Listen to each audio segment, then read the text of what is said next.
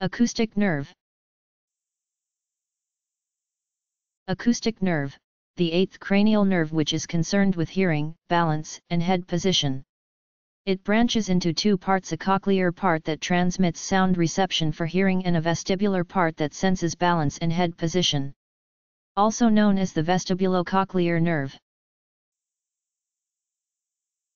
A C O U S T I C N E R V E. Acoustic nerve